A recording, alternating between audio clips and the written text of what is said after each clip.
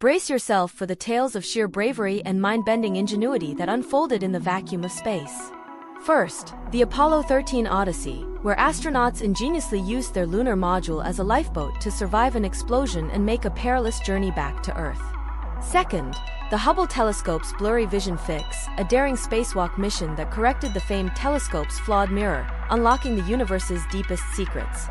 Third, Soyuz T-13 space station salvation, the heroic repair of the Salyut 7 station by cosmonauts, reviving it from a frozen, powerless state.